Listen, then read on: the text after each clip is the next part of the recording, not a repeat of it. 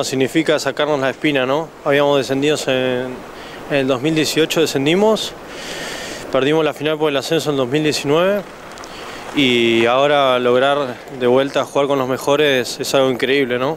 Llevar a la provincia al lugar que se merece.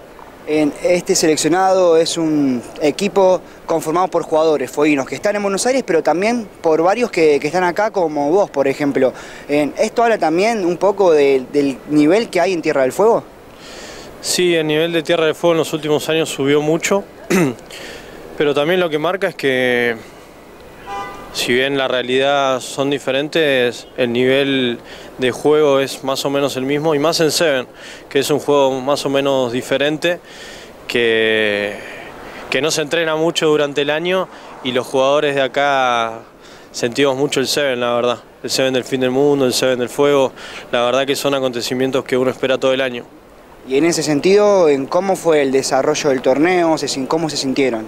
No, nos sentimos genial, la verdad que se armó un grupo de 12 jugadores muy, muy lindo. De acá viajamos cuatro y allá que juegan en Buenos Aires, Córdoba, Santa Fe, los otros ocho. Y se armó una mística muy linda y la verdad que los 12 sentimos mucho la camiseta y se nos, se nos dio. ¿Cómo fue la final? Porque arrancaron perdiendo, ganaron por 14 a 7. Arrancamos perdiendo en la segunda jugada eh, pero no, estábamos convencidos de que íbamos a, a, lograr el ascenso desde hace varias semanas que ya lo venimos hablando y palpitando al Seven y estábamos totalmente convencidos. ¿Cuál fue el trade que más te gustó? El trade que más me gustó. Eh, hubo una linda patada de, de Franquito Suárez cruzada a Luguita Chávez y también una patadita me tiró Juan Macarone a mí. Esos fueron los dos más lindos para mí. ¿El jugador eh, del seleccionado, para vos quién fue?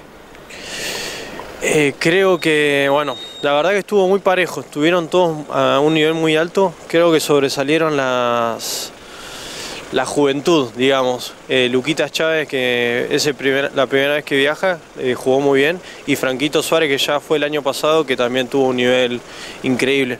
Pero el resto de los jugadores, más, más los experimentados, que no sé, Chimi Gómez Hobbs, que metió un try en la final, eh, que se nota la vigencia de ellos, ¿no?